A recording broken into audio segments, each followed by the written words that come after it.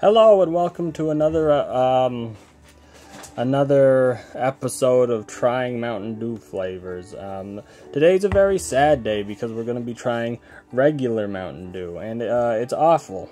It's awful stuff. Um, so let's talk about the bottle. I hate the design. It's ugly. I hate this fractured camouflage Call of Duty bull crap. It looks terrible. Like that's all there is, and then it goes to the ingredients and stuff. But that's it. There's nothing to catch. The, the red is kind of a nice shade of red.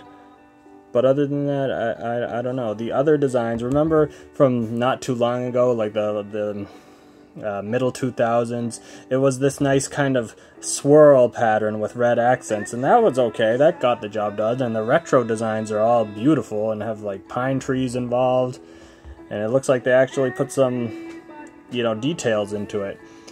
But this is just garbage. I don't like this at all.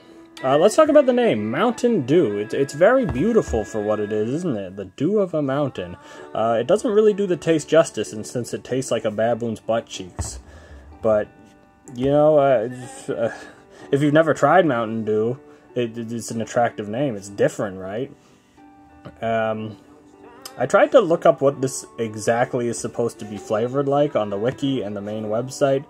Um, but they're very elusive about it. But I guess we're just going to have to move forward with the idea that this is just a generally citrus flavored drink. And I feel like whenever there's citrus flavored on a drink, that's because they can't really think of what it's supposed to taste like. I think the original Monster also says citrus on it, but it doesn't taste like any citrus fruit that I know of. Um, same with the Pitch Black. Um, it says citrus punch, but it doesn't taste like citrus at all. It tastes like blackberries. Yeah, anyway. So, we're going to give this a try. Let's crack her open. Nice, satisfying, crisp pop there. Oh, we got we got the retaining part coming off with the lid. The retaining ring, see? Classic. Now, I might be the only person who's ever drink Mountain Dew out of a glass cup. This might be the first. You might be witnessing history here. That, like, a glass cup, not like plastic. Uh, if you've been to, like, a 10-year-old's birthday, you've probably had this in a plastic cup. But as for a glass cup, no, I'm probably the first.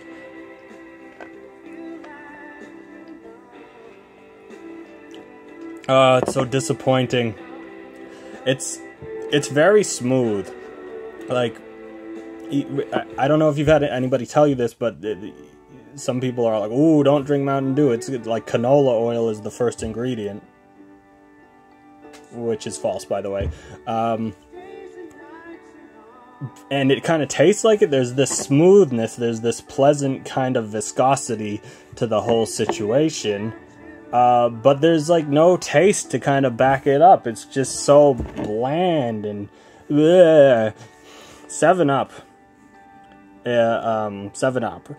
It's it's kind of the whole point is that you're drinking something that isn't so in your face, something mild. You know, when when you're sick, you'd want a Seven Up or a ginger ale, and those are all fine as mild sodas. But this you look at the color, you look at the bottle, you're expecting something more extreme. And all the other flavors even embellish in the idea that it is extreme.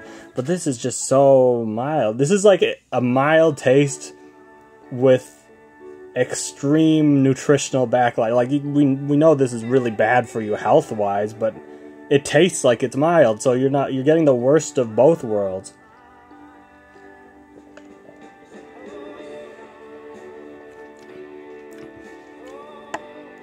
I mean, you could consider that it's like a really mild, very very sweet lemonade, but with other citruses involved maybe there is grapefruit in there, like the just the tiniest squirt of grapefruit, but I don't, I don't, uh, I hate it. I hate drinking it. Um, I would always choose something else if I had the choice.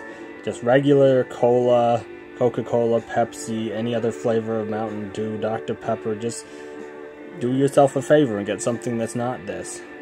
This might be a good base for mixing drinks if you're into that. Um, but as for just chugging it by yourself, No, just do yourself a favor and get some some code red. All right? That's all there is to say. Thank you so much. Make sure to subscribe to my comments. Bye.